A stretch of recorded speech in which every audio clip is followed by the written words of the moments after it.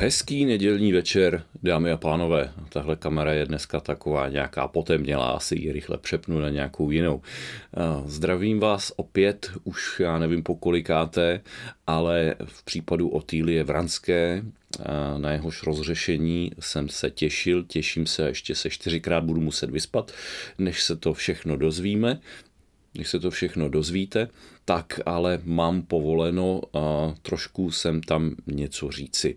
Takže zdravím všechny, jak jsem koukal do četu i do hloupětína, oceňuji. A milá Peggy, ten odpočet je tady kvůli tomu, aby všichni, kdo chtějí přijít, tak aby to stihli a nelovili myšlenku až od její poloviny a slušné YouTubeové kanály odpočty používají. Takže pojďme k případu Otýlie Vranská. Tak, budíš světlo větší než, než tady. K případu Otýlie Vranská jsem si pro vás dnes nachystal věc, která vlastně dá se říci rozhodujícím způsobem přispěla k tomu, že i 90 let potom, co se ta vražda odehrála, se o ní zajímají média a známe ji všichni skoro, si teda troufám odhadovat. Takže ten rozhodující faktor, nebo ten jeden z těch největších faktorů je tajemný fantom ulice a podezření, že Otilie Vranská nebyla ojedinělá vražda, ale že to byl, byla činnost sériového vraha a ještě k tomu velmi drzého sériového vraha, který si říkal uh, Karel XY nebo Karel Vodovary a e, tvrdil, že zavraždil nejenom Otýlii Vranskou, ale i, že vraždil v dalších případech a že bude vraždit dál. A tenhle ten drzoun byl dokonce tak drzý, že si dopisoval nejenom s pražskou policií, ale i s novinami a zároveň e, dokonce i prý údajně telefonoval. Dneska si to probereme, mám povoleno ukázat něco víc, co dosud ještě nikdy nebylo spatřeno. Pojďme ale k těm jednotlivým případům, které tedy eh, se mají s Otýlí Vranskou pojit. Jako první byla Anna Kočová. To, co vidíte, to je článek z Národních listů z 8. února roku 1926. Anna Kočová byla vdova ze Žižkovského krejcárku a říkalo se jí Nanda Cikánka a údajně se tahala po Žižkově se spustlými muži i ženštinami. Ve čtvrtek 4. února roku 1926 byla nalezena mrtvá na vojenském cvičišti u Karlínské invalidovny. To, co vidíte na leteckém snímku, to je letecký snímek o něco pozdější z roku 1938 a je tam vlastně oblast od Těšnova až skoro k té, až skoro k té invalidovně. Je to, je to tehdejší Karlín. Jak, jak víme, i Karlín má souvislost s případem Otýlie Vranské, protože tam hledali jednoho podezřelého a také ho tam našli. Kočová byla vysvlečená, její svlečené šaty ležely pod tělem. Při pitvě se zjistilo, že byla zadušena pravděpodobně vlastním spodním prádlem. Případ nebyl nikdy vyřešen. To je první vražda. Druhá byla Růžena Petrová. Byla nalezena o rok později, 1. února roku 1927, městským zřízencem eh, na severním svahu smetiště za Vysočanskou noclehárnou. Eh, tehdy byla v Praze poměrně nově vybudována v Nových Vysočanech eh, noclehárna pro chudé, zase letecký snímek Vysočanského nádraží, tehdy jednoho ze dvou vysočanských nádraží, respektive nádraží Libeň, bylo tehdy tehdy bylo horní nádraží, dolní nádraží, to, tohle to existuje do dneška. A, a 30-letá Růžena Petrová tedy byla nalezena, uškrcená a příčinou smrti tedy bylo zatažení pásku koženého pásku utaženého na několik uzlů. Je zajímavé, že měla na sobě zelené šaty, stejně jako Otýlie Vranská. Měla je vyhrnuté vysoko nad pas, punčochy stažené k botám. Růžena Petrová byla pomocnice v domácnosti, příležitostná prostitutka.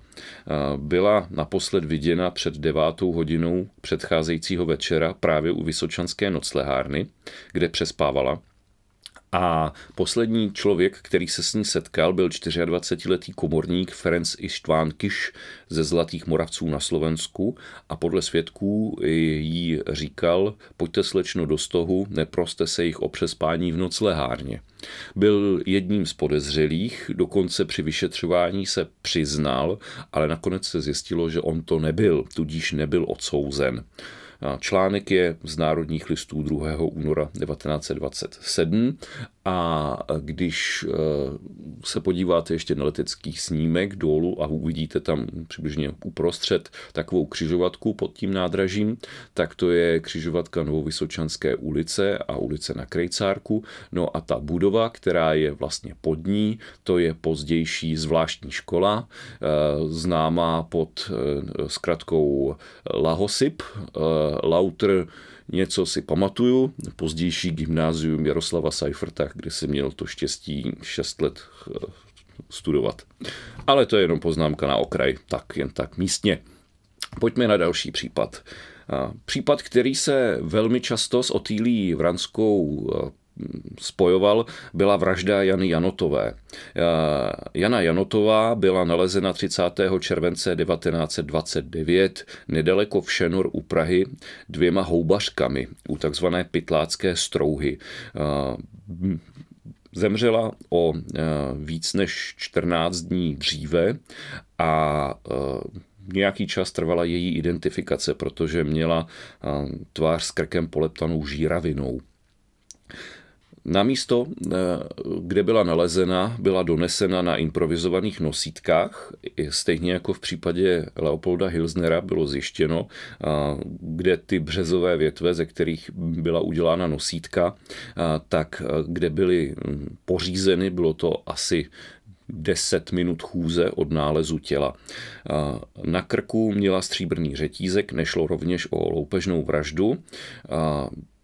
O něco později byla nalezena její kabelka s kloboukem v malém rybníčku nedaleko jíloviště.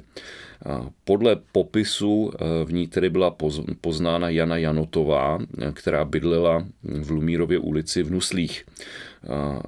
Říkalo se jí e, zrzavá žanda, byla to tanečnice z baru Babylon a rovněž příležitostná prostitutka. Byla v Přestože byla prostitutka, tak byla vdaná, měla tříletou dceru, tehdy, kterou ovšem vychovávala její babička mimo Prahu, protože ona od narození své dcery se o svou dcerku vůbec nestarala. Naposledy ji viděla právě její bytna 16. července. Po obědě odešla v nových šatech, prohlásila, že jde na schůzku, možná na výlet. Odpoledne potom byla v přáteli v hostinci u Bílého lva v Praze eh, na Smíchově a s jedním ze svých přátel, jistým Verlichem, odjela do jeho bytu ve Stodůlkách. Večer Stodůlky tehdy nebyly součástí Prahy, eh, Verlich ji poté eh, zavedl zpět do Prahy, což je ověřeno.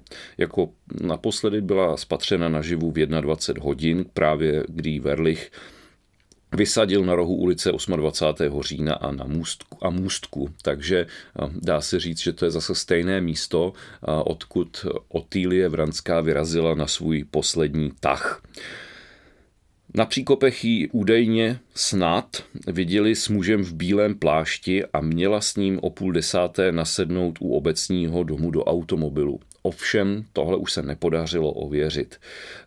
Byla to tedy, jak už jsem zmínil, prostitutka, ovšem eh, dá se uzavřít, že svého vraha znala, protože, eh, jak vypověděli lidé, kteří ji znali s neznámým člověkem do neznámého prostředí, by nikdy nešla. O 14 dní později teda bylo její tělo nalezeno u Všenor a eh, byla to třetí zavražděná prostitutka. Pravděpodobně byla též zardoušena. Ty první dvě byly zardoušeny zcela jistě. A u právě Jany Janotové to není úplně jisté, protože tělo už bylo ve značném stádiu rozkladu, bylo léto. Záhadný zločin na Starém městě po, uh, už, už po vraždě Otýlie Vranské byla 4. května 1938 uh, v přízemním bytě v Týnské ulici nalezena zavražděná Helena Kindlová. Polední list tehdy napsal, že Helena Kindlová je osmou ženou, která byla v posledních letech v Praze zavražděna, aniž by byl pachatel dopaden. A rovnou Polední list konstatuje, tedy spojuje případ Kindlové s případy Kočová, Petrová, Janotová, Burgrová, Vranská, Zemancová, Brožíková a tedy Kindlová. Co se ví o posledním dnu eh, Heleny Kindlové? Kolem jedné hodiny popolední si zašla do automatu v Havelské ulici, kde se naobědvala. Krátce po druhé odpoledne eh, jí na rohu Týnské ulice spatřil obchodník s cukrovinkami, hovořila tam s neznámým mužem ve věku 30 až 35 let, eh, no, oblečeného do obyčejných tmavých šatů, vypadal chudě. To bylo poslední pozorování eh, Heleny Kindlové. Eh, rovněž Helena Kindlová eh, byla prostitutka a dá se tvrdit, že byla poměrně otrlou prostitutkou. Údajně se, řekněme, zaměřovala na pány se specifickými potřebami. Ve čtyři hodiny odpoledne na ní bouchala její kolegyně od nejstaršího řemesla ze sousedního bytu. Eh, ovšem neotvírala, zevnitř bytu ovšem štěkal pes. Eh, my v tuto chvíli eh, můžeme říct, že vrah je stále na místě činu, protože když tedy se její kolegyně, kamarádka po páté hodině vrátila, tak už ten byt našla pootevřený a Helena Kindlová ležela na zemi, zaškrcená, eh, vysvlečená. Vrah tehdy v tomto případě předstíral mm, otravu čpavkem. Akorát se zjistilo, že o otravu čpavkem nešlo, že tedy byla uh, uškrcena. Samozřejmě podezřelý byl onen muž 30 až 35 let starý, ovšem nesedí na tomhletom teda nebyl nikdy stotožněn, nesedí na tom to, že se s ním, a což potvrdil právě prodavač cukrovinek, že se s ním dohadovala o svojí ceně, e, že říkala, že to je málo. Tady nesedí úplně to, pokud by to byl vrah a měl už v úmyslu vraždit, tak e, by asi o ceně nesmlouval, protože stejně věděl, že platit nebude, nebo neměl v úmyslu zaplatit. Tak e, to by, byly, to by bylo několik případů, které jsou podrobněji popsány a které jsou s Otýlí Vranskou spojovány. Pojďme se vrátit eh, k samotnému vyšetřování Otýlie Vranské, protože ještě tady máme jeden eh, případ, který se neodehrál v Praze, ale který byl s Otýlí Vranskou spojován. Takže eh, toto je Toto je článek z poledního listu ze 14 září, což bylo tedy dva týdny po tom, co se vražda odehrála. A tehdy se Tehdy noviny byly velmi dobře informovány o tom, jak postupuje vyšetřování.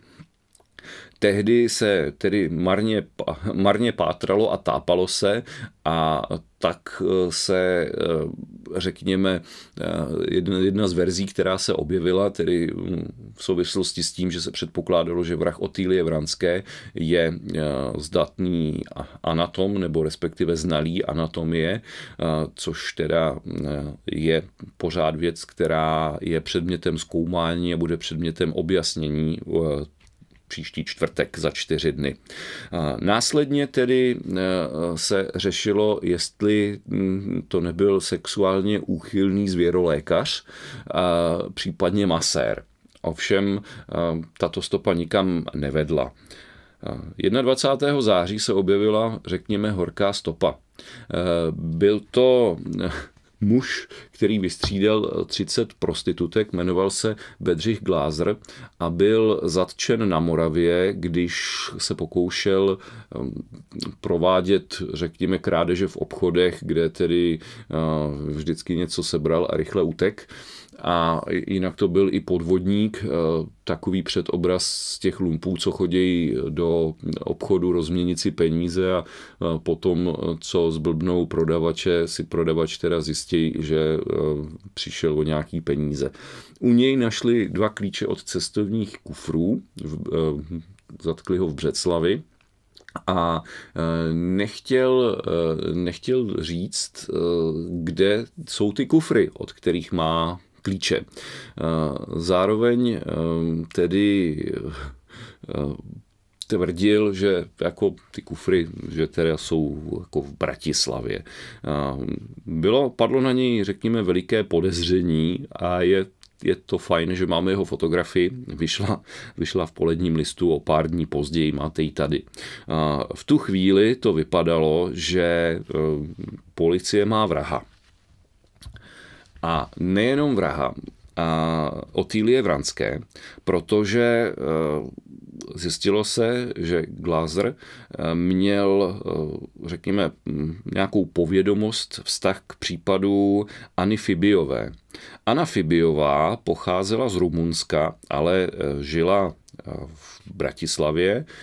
Měla totiž československé občanství, protože se vdala na Slovensko. Byla to vdova. 27. listopadu 1932 zmizela v Bratislavě. Naposledy byla spatřena ve vlaku z Lučence do Bratislavy právě 27. Eh, listopadu. Její části jejího těla byly nalezeny v prosinci téhož roku a mm, vrah se jich zbavoval tak, že ty části jejího těla vyhazoval z jedoucího vlaku. Že jde o Anu Fibiovou se ovšem zjistilo až v dubnu roku 1933, protože mm, tehdy teprve byla nalezena eh, její hlava. Takže to je právě eh, souvislost eh, s Glázrem, který eh, vlastně zjistilo se, že tou dobou se v Bratislavě pohyboval a zároveň se mm, tak nějak řešilo Glázrovo alibi a on tedy alibi měl problém prokázat.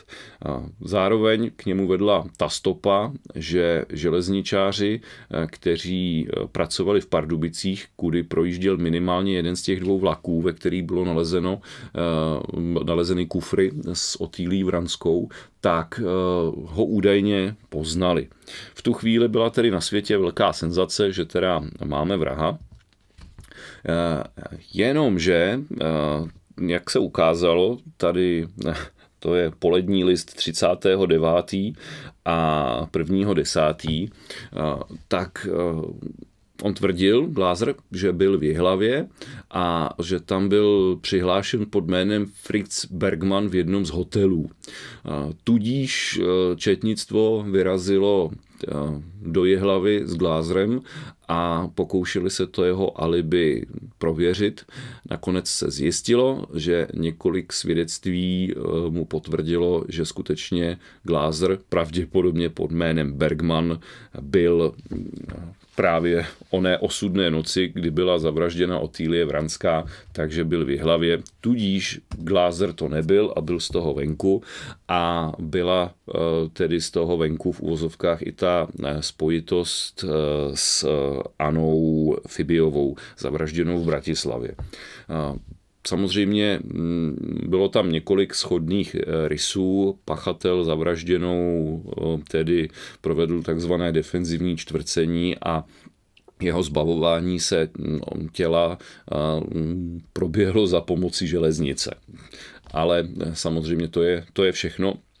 Ani vražda Ani Fibiové nikdy nebyla vyřešena.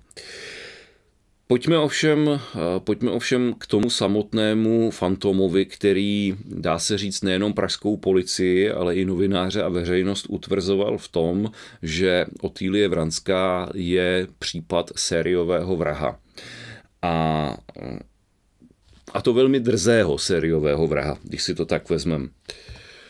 Toto je naprostý unikát, který eh, vám eh, můžu ukázat. Je to jeden z dopisů, který dostala pražská kriminálka a je to dopis Fantoma ulice, eh, který se v tomto případě podepsal Karel Vodovary.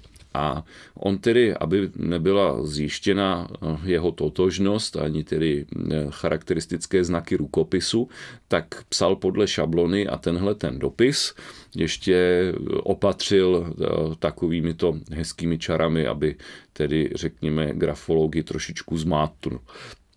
Zmátl tak maximálně ty, kteří to po něm chtěli přečíst. Já vás zbavím utrpení, protože Fantom ulice nám píše. Prosím za laskavé prominutí, že jsem svým třetím zločinem uvedl celý policejní aparát do pohybu. Vraždil jsem stouhy polické krvi, ne pro peníze. Mám božský pocit spatřit člověka krváceti. Nenamáhejte se po mně pátrati. Unikám spravedlnosti roky, jsem příliš opatrný. Děvče, které jsem zabil, bylo prostitutkou, jako má dřívější oběť Janotová. Vlákal jsem jí do svého bytu, kde jsem jí zavraždil. Tělo její jsem podle obrazu kostry rozřezal a uložil do kufrů, které jsem sám odvezl na nádraží. Cestou jsem potkal v dělnické třídě mojí známou, která mě pomáhala tlačiti vozík, přičemž se mě tázala, co v kufrech vezu. Odpověděl jsem, že vezu staré šatstvo. U Hlávkova mostu odbočil jsem na Štrosmajerovo náměstí. Měl jsem v úmyslu kufr dáti na Denisovo nádraží, ale pro malou frekvenci na tom nádraží jsem od toho upustil. Jak nyní vidím, stopy jsem zahradil, zahladil důkladně, takže prozrazení mě již nehrozí. Takže prchati do ciziny již nemusím. Mohu se klidně připravovat i na čtvrtou vraždu. Fantom ulice, vraždící stouhy po krvi, Karel Vodovary. Všimněte si, že Fantom ulice dokonce mm, udělal jakýsi náčrtek s místem činu, kde údajně spáchal vraždu a dokonce si nechal vyrobit razítko. Pražská policie oběhla všechny tiskárny, výrobce razítek a na nic, na nic bohužel nepřišla. Na co narážel údajný Karel Vodovary tou mm, zmínkou o dělnické ulici? Byl to eh, článek eh, z, ná, eh, kecám, z poledního listu, ne z národních listů, který zmiňoval muže a ženu, kteří v pátek, tedy 1. září, ráno po vraždě kolem 10. hodiny dopoledne vezli veletržní třídou a přes Hlávkův most vozík se dvěma kufry. Na vysvětlenou pro hm, neznalce Prahy a menší znalce historie Prahy Denisovo nádraží. Vidíte na mapě, je to dnes místo taková prázdná plocha u stanice metra Florence, pozdější nádraží Těšnov, jeden z architektonických skvostů pražské architektury, který zbourali komunisti na počátku 80. let přestože tak učinit úplně nemuseli, na místě je teďka volné místo.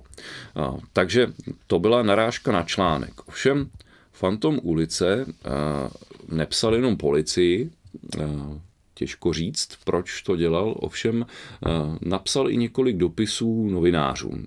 První napsal polednímu listu a píše, ctěná redakce, nelekejte se, že vám píše pachatel vraždy na Otýlii Vranské, sledují veškerý tisk, který referuje o mém zločinu a útrpně se usmívám všem těm nesmyslným odhadům pražské policie. Teď jsem již napsal, aby po mně zbytečně nepátrala, jest to marné. Marné proto, poněvadž mě nikdo s mojí obětí Vranskou neviděl. To je pravda. Jméno zavražděné jsem vůbec neznal, to jsem se dozvěděl teprve z denního tisku.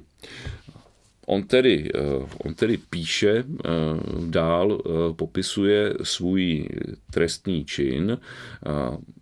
Nejprve teda zmiňuje, že se, že teda zavraždili Janotovou a dál pokračuje v popisu zločinu na Otýlii Vranské. Šel jsem v noci ve čtvrtek Perlovou ulicí, kde jsem schválně vrazil do hezké neznámé slečny, které jsem se omluvil a prohodil otázku, kam tak pospícháte, slečno. Ona odpověděla domů. Zapředli jsme rozhovor o všem možném, až jsem jí nabídl, že by mohla jít ke mně do bytu. K mému uspokojení Vranská přisvědčila. Podotýkám, že v tu dobu neměl jsem žádných vražedných úmyslů. Myšlenka zbaviti se Vranské napadla mě v okamžiku, kdy Otýlie Vranská žádala odměnu za svoji lásku. Dál tedy eh, pokračuje ještě ve svém dopise Myšlenka přišla, čím jsem tedy provedl, nejdříve jsem ji omámil, potom omráčil a posléze rozřezal dle obrazu kostry. Opět píše, stejně dá se uzavřít, že pisatele dopisu pro policii i pro noviny jsou, je, je jedna osoba. Kufry, do kterých jsem části těla uložil, odvezl jsem dvouklovým vozíkem na nádraží, stopy jsem důkladně zahladil, takže prozrazení mě nikdy nehrozí. Svědčí o tom fakt, že jsem eh, se byl podívat na hlavu zavražděné na policejním ředitelství. Nejsem vrah druhu Lukšíkova nebo Volovikova, jsem příliš opatrný, vraždím stouhy pokrvy ne pro peníze, kde není stopy, ani Scotland Yard nic nenapátrá. Podepsán Fantom ulice, který kráčí stínem života pod světím lidstva, Karel XY. Už tedy ne Karel Vodovary, ale eh, Karel XY. Pojďme k jeho motivu. Polednímu listu totiž o pár dní později napsal druhý dopis. Píšili vám druhý dopis, nečním tak z nějaké touhy po pochybné popularitě, o tom se teda dá pochybovat, nýbrž chci veřejnosti vysvětlit, z jakých pohnutek jsem spáchal vraždu na Otýlii Vranské a Janotové. Nevraždil jsem pro peníze, ale zemsty. Bylo mě lhostejné, že připravují nevinné ženy o život, v úzovkách nevinné, stačil mě pouze fakt, že Janotovou a Vranskou jsem nalezl v noci na ulici, jak schánějí. Z takových žen rekrutovala se i ta, která mě zničila život. Jí zavraždit nemohu, jelikož bych byl vypátrán takže v uvozovkách taková přenesená vražda, přenesená pomsta. Přestože můj život je již bezcený, nechci riskovat i svobodu a tudíž mstím se na jiných. Zklamání v lásce udělalo ze mne vraha a zarputilého nepřítele žen z ulice. Vypisovat celý můj život podrobně bylo by zbytečné, proto omezím se jen na vylíčení toho, co ze mě udělalo vraha. V roce 1921, kdy mě bylo 27 let, seznámil jsem se ve R s dívkou, do které jsem se šíleně zamiloval. I ona, jak jsem tehdy pozoroval, moji lásku opětovala. Byl jsem tehdy majitelem většího závodu, takže jsem ji zahrnul veškerým přepichem. No, e, náš tajemný fantom dále popisuje, že tedy se v té dívce velmi zklamal, protože zjistil, že má milence. A píše dál. Pátral jsem po její minulosti a dozvěděl jsem se strašné věci o M, takže se jmenovala M asi. Nejen to, že byla trestána pro různé krádeže a podvody, ale i to, že M je prostitutka. Mezi tím, co jsem pátral v jejím rodišti, M prodala celé přepichové zařízení svého bytu a sebrala několik tisícovek z pokladny a zmizela. Byl jsem úplně duševně zničen. Chtěl jsem tehdy spáchat se vraždu a sebevraždu, ale vše jsem si rozvážil. Očinu M jsem neučinil hlášení, nechtějí mít ostudu. Moje situace byla hrozná. Pojďme se podívat, co píše dál o své minulosti. V roce 1925 nechal jsem se naverbovati eh, do cizinecké legie Sidi Ben Abes, kde jsem byl až do roku 1928. Z Legie jsem uprchl do Španělska, odkud jsem se dostal na začátku roku 1929 do Československa. Cestoval jsem většinou na podvozcích železničních vagónů. Vrátil jsem se jako lidská ruina, našel jsem si skromnou existenci a začal nový život. V tu dobu mě utkvěla myšlenka, že musím spáchat něco hrozného, třeba vraždu. Zavraždit nějakou ženu prostitutku, kterou tak nenávidím a pokračuje, že pořádnou a počestnou ženu by nikdy nezavraždil. A to je mimo jiné jeden ze zdrojů přesvědčení, že Otýlie Vranská byla prostitutka. Jak už jsme probírali minule, není to tak úplně pravda. Pokračujeme dál. Další dopis. Eh, opět došel eh, polednímu listu a eh, Karel XY, či Karel Vodovary, v něm tvrdil, že už žádný další dopis nenapíše. Ovšem eh, nebyl úplně spokojený tedy s tím, co se, co se o něm píše, eh, tak eh, se snaží tady hm, dál informovat o tom, že pochybující novináře a pochybující policii o tom, že skutečně zavraždili jak Vranskou, tak Janotovou, a vysvětluje tady ten, to, ten, to, že tedy odvezl Janotovou nákladním vozem do těch Všenor. Zároveň teda tvrdí, že nechce zmást stopy, protože to, co má policie, tak je k jeho dopadení naprosto nepostačující, což tedy e, měl pravdu. Ale protože si byl sebou tak jistý, tak tvrdil tedy, že může psát tyhle ty dopisy. Takže to je, eh, to je třetí dopis eh, polednímu listu. Pojďme ještě na jednu zajímavou, eh, na jednu zajímavou věc.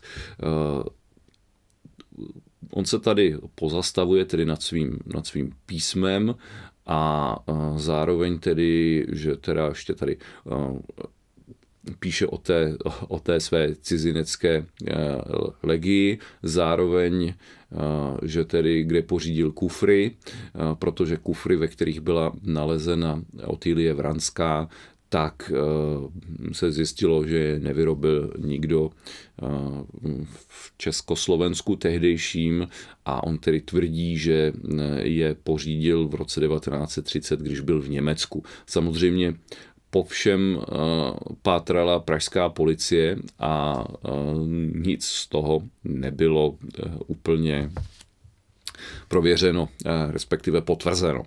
Takže to je třetí dopis, údajně poslední dopis. Jenomže řekněme, že Fantom ulice úplně nebyl spokojený stále s tím, co se o něm píše, tak se ozval tentokrát znovu, tentokrát ne polednímu listu, ale večerníku práva lidu. A zároveň tedy jako polemizuje zase e, s tím, co se o něm píše. A, a tvrdí tedy, že e, ty dopisy, které té pražské redakci míněno poledním listům, e, takže jsou, takže jsou pravdivé, že jsou tedy jeho. A zároveň tedy slibuje, že brzy spáchá další vraždu, že údajně už má svou čtvrtou oběť vytipovanou, že teď se tedy musí na, nějakou, na nějaký čas řekněme stáhnout, protože děvčata jsou opatrná ale že dřív nebo později se mu to, se mu to povede. No a e, zároveň tedy, protože se v tisku probírala i daktyloskopie, tak e, protože skutečně e, nějaká daktyloskopie provedena byla a jak to, jak to všechno bylo, tak to se budeme dozvídat ve čtvrtek, tak on tady ještě píše, že tedy žádný jeho otisk prstů policie mít nemůže, protože má rukavičky, ve kterých jako píše.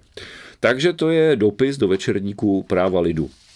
Ani to není poslední dopis, protože Polední list eh, v polovině listopadu, přesněji 17. listopadu, eh, tedy to ještě nebyl svátek, nebyl k němu žádný důvod, eh, tak píše, že na pražskou kriminálku doktoru Borkovcovi, zavolal přímo Fantom ulice a um, nechal si tedy předvést doktora, nebo přivolat doktora Borkovce k telefonu a prohlásil, že je tedy vrah Vranské a že ho už nedostanou.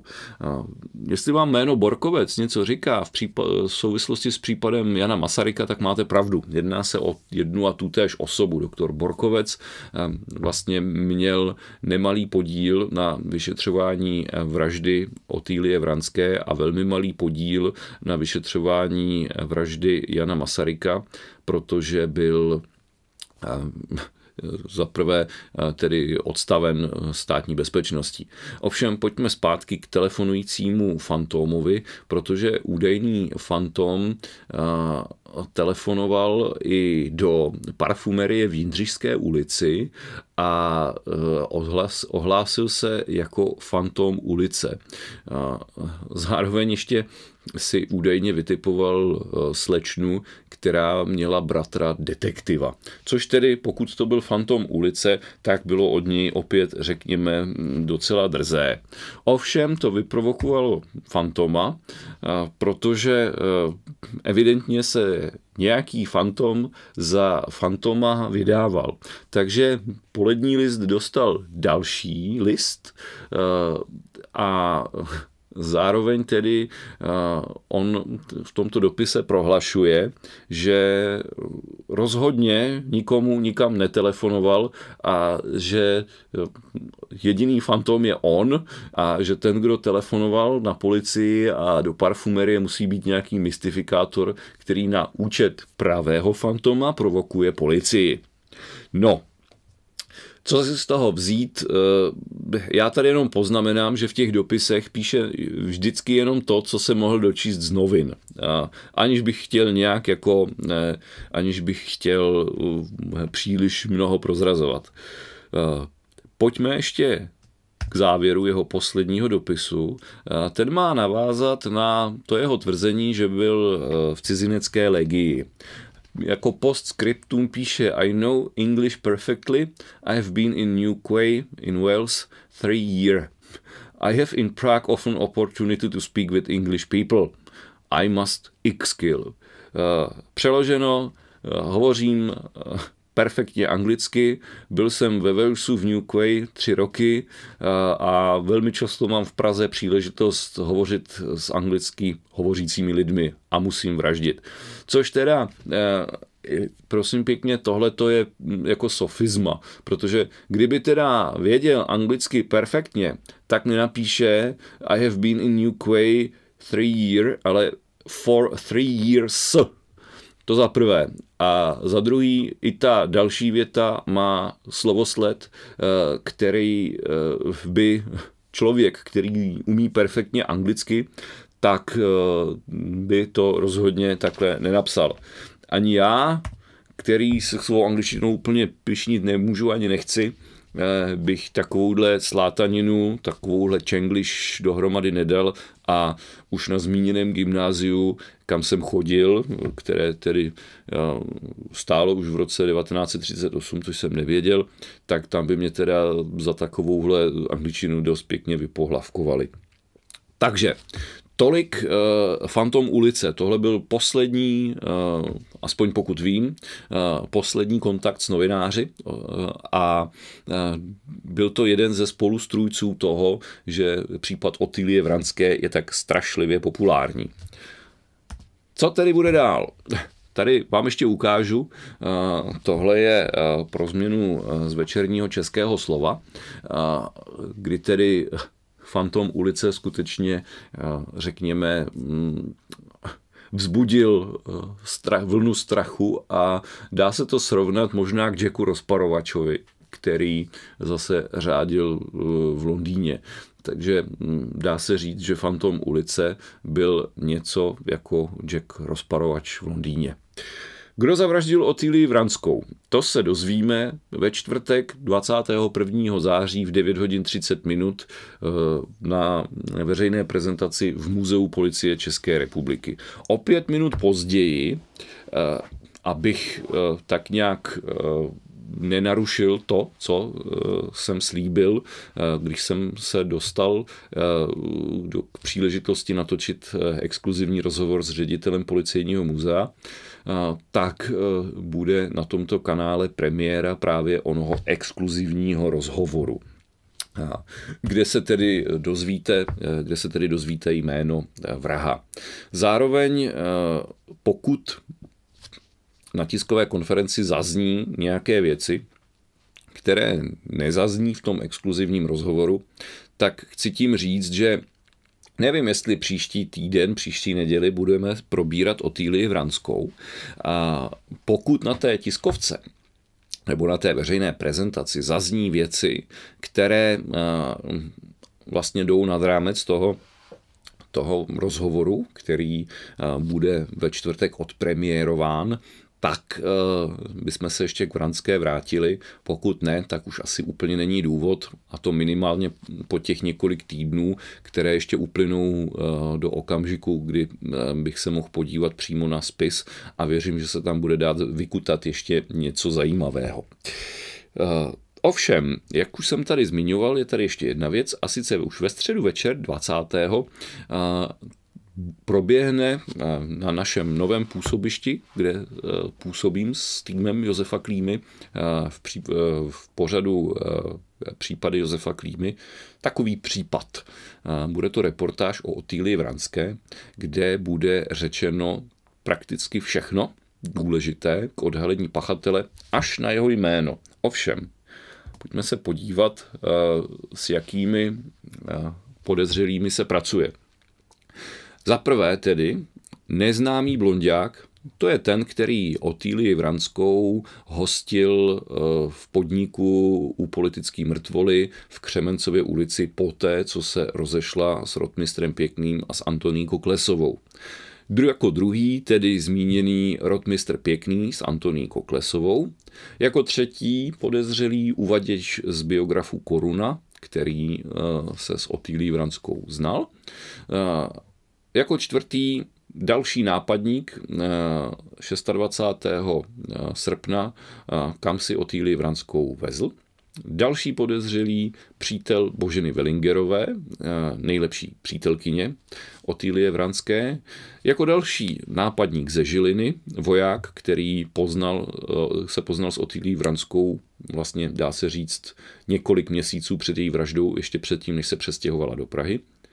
Dalším podezřelým je eh, tedy onen zvěrolékař či masér, ovšem častěji se uvádí zvěrolékař, který měl Otýlii Vranskou zavraždit eh, ve své ordinaci někde na území Starého města.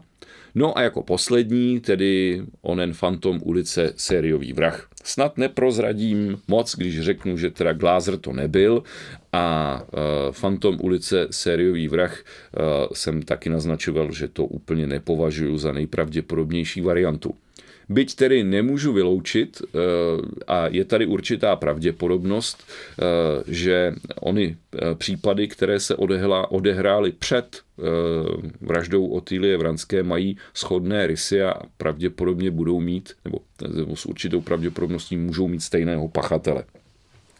Takže pokud snad neprozradím taky moc, pokud jste sledovali tyto dva streamy a podíváte se ve středu večer, tak si myslím, že vám bude již mnohé ve středu večer jasné a to, co se dozvíte eh, ve čtvrtek potom, tak budou, řekněme, hlavně dokreslující eh, podrobnosti a podpůrné argumenty pro to, proč to tak skutečně bylo.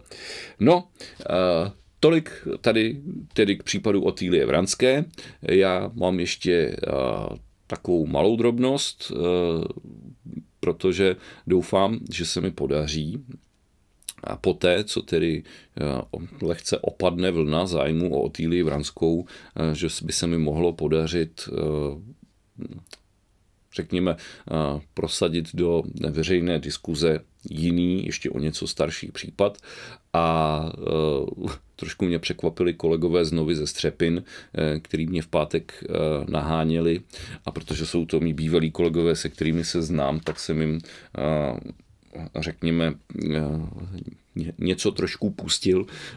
Asi nic, co byste nevěděli, ale pokud chcete vědět, o čem se po několika následujících týdnech bude hovořit, doufám, tak se podívejte za dvě hodiny na Střepiny. A, a souvisí to taky trošku i s novou knížkou, která už je, pokud vím, tak je v tiskárně a pracuje vlastně už se na posledním kroku, na, aby spatřila světlo světa. Takže, dámy a pánové, tím končím úvodní referát a otevírám diskuzi.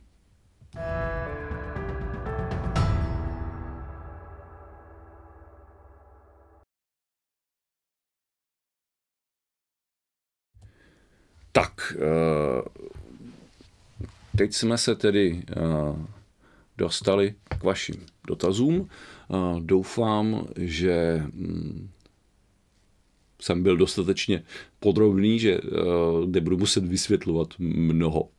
Tak, ano, fantomové byly minimálně dva. Jeden fantom,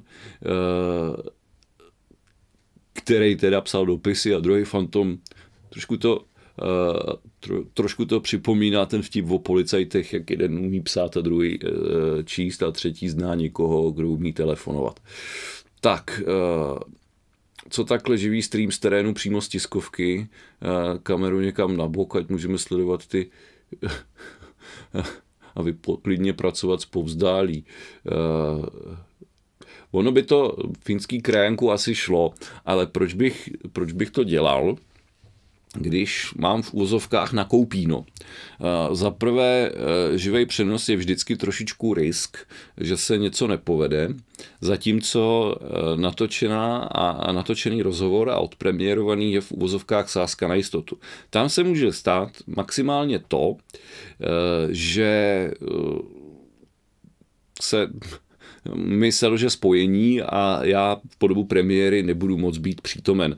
Ono zároveň dá se říct, že já budu trošku duchem polopřítomen, protože zároveň kromě toho, tedy toho, té premiéry, mám v úmyslu sledovat tu tiskovou konferenci. Takže eh, ještě abych do toho dělal živý vysílání, to jako, to jako úplně, to jako úplně ne, ne.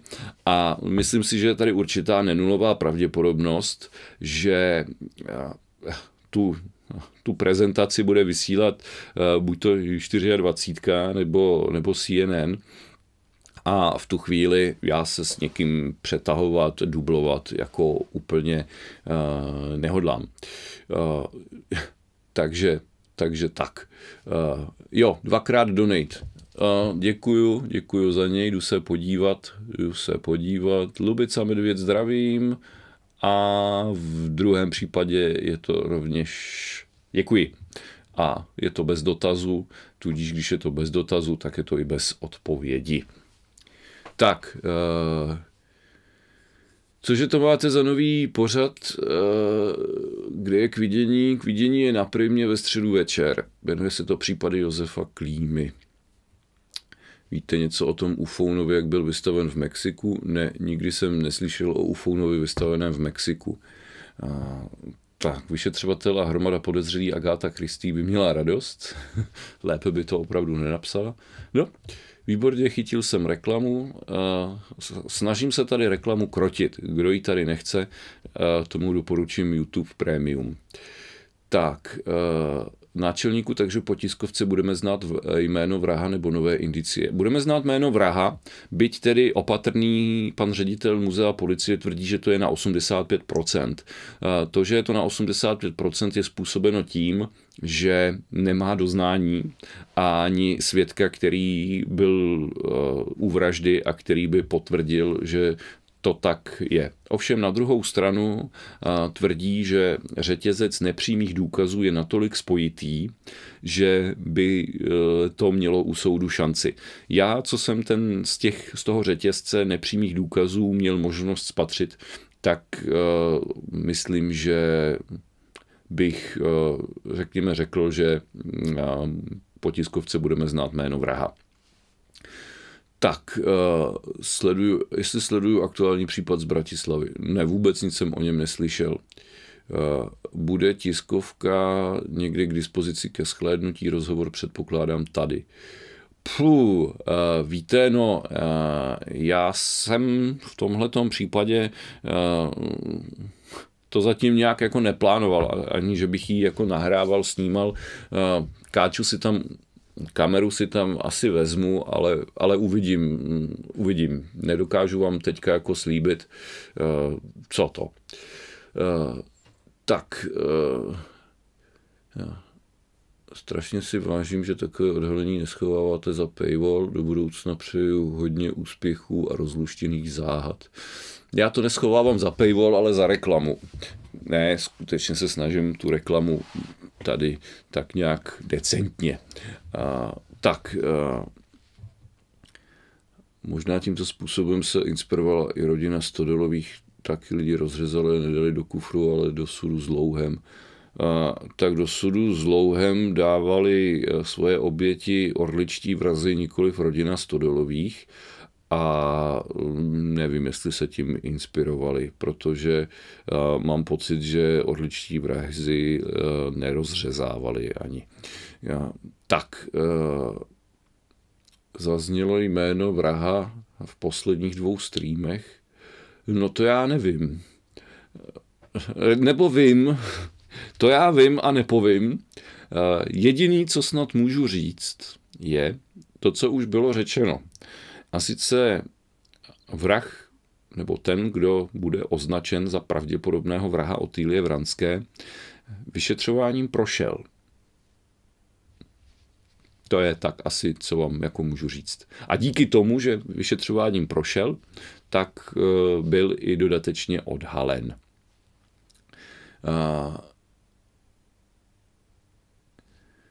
Miroslava Klímová, eh, jestli jsem nezachytil mumie ufonů. Eh, ne, na zprávy skutečně nekoukám.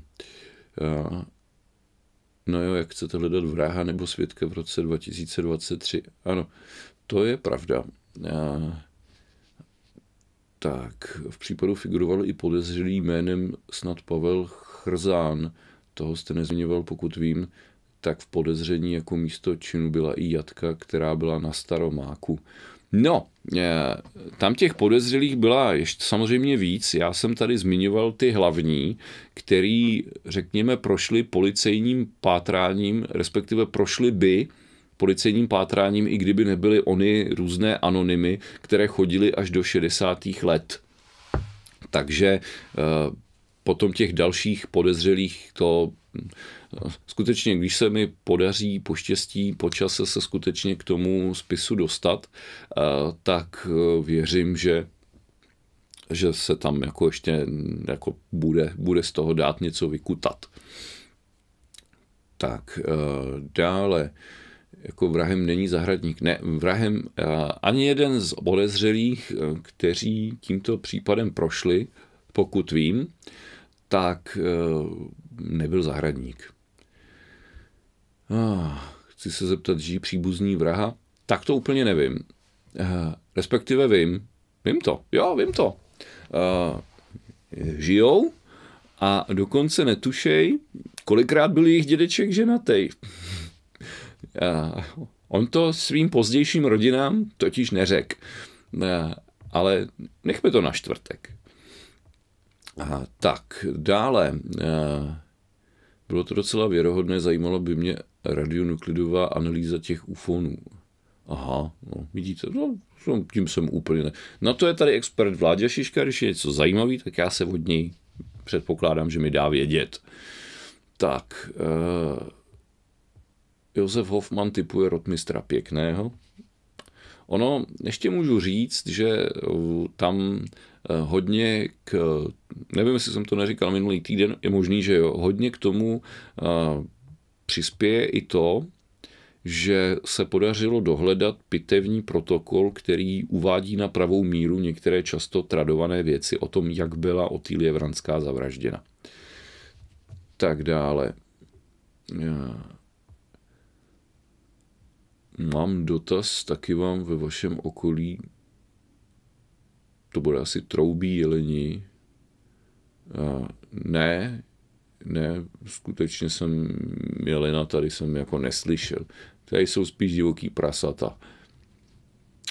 Tak, e, dále, e, tím pádem víme, že ti pisatelé, pisatel dopisu to nebyl.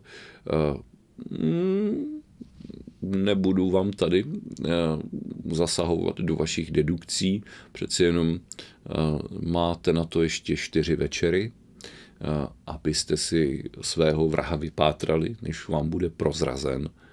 Tak. Tomáš zase věří tomu, že to byl veterinář. Hm? No, tak jsem, tak jsem zvědavý. Jiří Cháb se ptá, na kolik procent může být takové označení přesné. Já eh, bych tady malinko eh, se odlišoval od eh, vedoucího výzkumu, který tvrdí, že to je na 85%. Já bych to viděl na procent něco přes 90. U mě by to určitě začínalo devítkou. Tak, ve čtvrtek dopoledne budu asi 2 km od muzea policie, ale je mě to houby platný. Ano, kapacita sálu je nějakých, teď nevím, kolik osob a nebude, nebude překročena. Tak, uh, bude ten dotyčný pachatel pouze vrahem Vranské nebo bude spojen s více vraždami? Děkuji. To bude odhaleno taky ve čtvrtek. To vám taky nemůžu prozrazovat. Poprosila bych o podrobnosti ohledně streamu eh, s odhalením podrobností stran její vraždy 20. v kolik. Eh, stream to nebude, bude to premiéra, bude to 20. 1. v 9.35. Já teda doufám, že se v policejním muzeu nespozdí, protože to bych tak nějak, ono už, když tu premiéru nastavíte, tak ona už se pustí, že jo. Tak doufejme, že to začnou tak, jak mějí. A Cip, zip, děkuji za donate. Jsem ani netušil, že jsme měli českého zodiaka, tedy aspoň co se těch dopisů tisku týče. No, je to skutečně uh, zajímavé, ovšem uh, čtvrtek nás trošku poučí. Ale uh, i kdyby to ten sériový v případě Vranský nebyl. Pořád, je tady, pořád jsou tady schodní rysy, minimálně u těch vražd, které předcházely vraždě Otýlie Vranské a možná i tomu případu z roku 1938 v té Týnské uličce.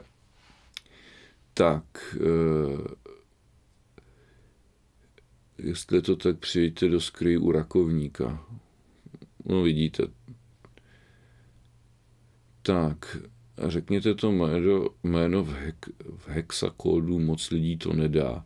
No, já, ale já jsem slíbil, že to jméno neřeknu, tudíž ho neřeknu ani v hexakódu. Omlouvám se. A, ty předchozí vraždy, co jste zmínil, zůstaly také nevyšetřeny. Ano, také ne, neobjasněno. A, chystáte s Lacem cestu za Olgoj Chorchojem? Úplně nechystáme. To, to jako vám můžu slíbit, že se nestane. A, a proč zrovna, proč zrovna tam? To, vaše fantazie teda dobrý.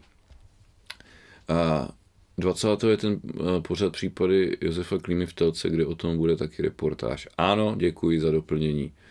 A Sbírka zákonů nařízení státu Československého vydá na 14. března 1919 v tom ustanovení paragraf 5 řízení, že dne 16. března 1907 co? Omlouvám se, nerozumím jazyku tvého kmene, to je úplně vám tady není, není, mi, není mi to jasné, není, není mi jasný smysl, jsem trošku mimo, eh, pardon. Tak, eh, zdá se, že dotazy k tématu docházejí, ještě se tady podívám trochu výše, Vím, že nemůžete říct podrobnosti, ale je ve hře možnost, že vraždila žena. Až do okamžiku, kdy budou eh, zveřejněny eh, závěry z pitevního protokolu, ano. Potom to bude jasné, jak to s tím, jak to je. A bude to velmi jasné. Eh, tak, další.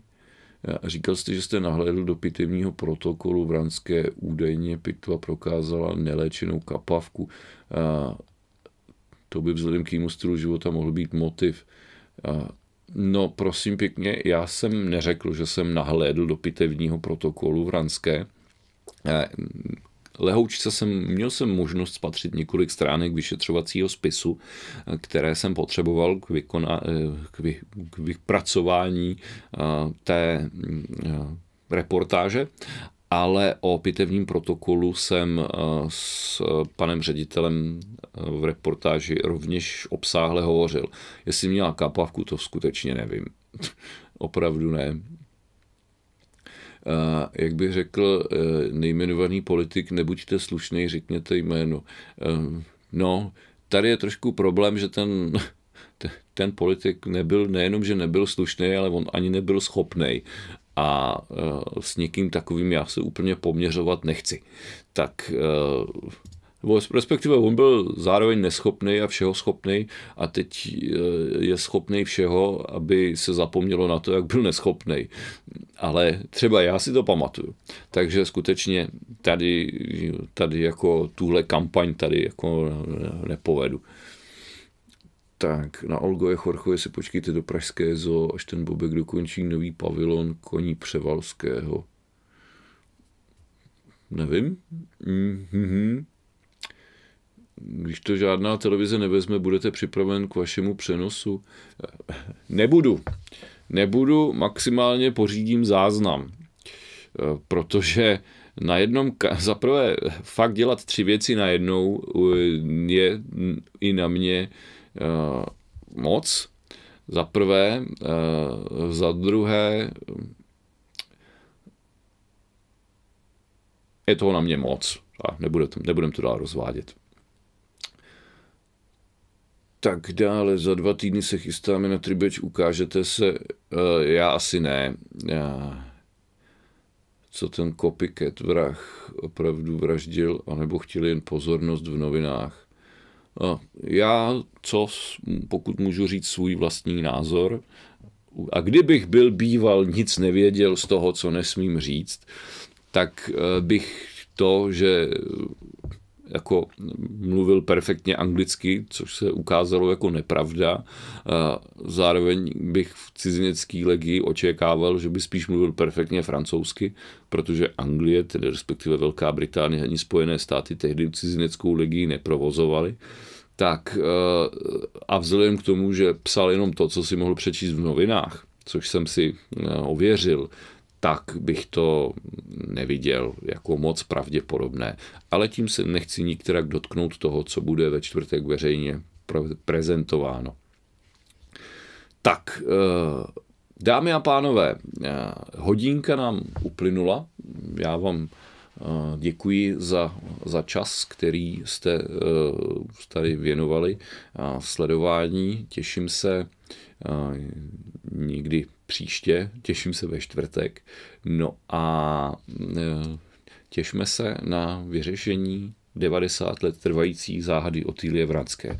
Nemůžu e, neříct, že svým způsobem mi to e, vyřešení bude trošičku líto, protože zase přijdeme o jeden nádherný, neobjasněný příběh i když použít slovo, nád, řekněme, nádherně neobjasněný příběh, protože říct slovo nádherný v případě vraždy a, jsem úplně nechtěl. Mějte se pěkně, nebuďme píce, dobrou noc a těším se. No, těším se na závěrečnou znělku a ono to nechce. Tak jinak. Dobrou noc.